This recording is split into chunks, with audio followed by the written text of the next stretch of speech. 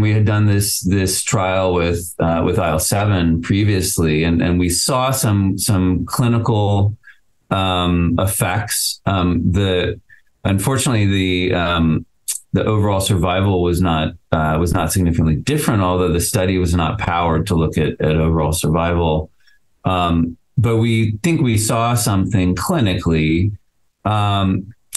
our data suggests that comparatively, IL 15 is going to be a much better cytokine compared to IL 7 in combination with sip-T and, you know, there are a number of IL 15 um, immunocytokines or superagonists or, um, you know, uh, fusion proteins that are in development. Um, and so what we're doing now is exploring the combination of some of these ones that are in clinical development um, with the hope of um, doing essentially a, a, kind of a, a repeat instead of IL 7, we'll use one of these IL 15 superagonists in combination with sip-T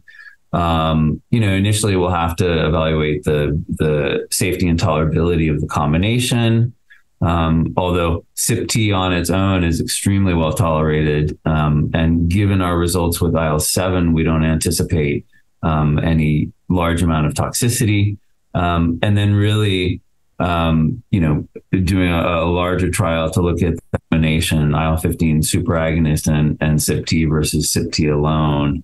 um, and you know that is hopefully going to supercharge um, sip-T in these patients, get more of these uh, sip-T activated tum- uh, uh, cells into the tumors, um, and uh, see if we can affect a, a more a clinically meaningful effect for these patients.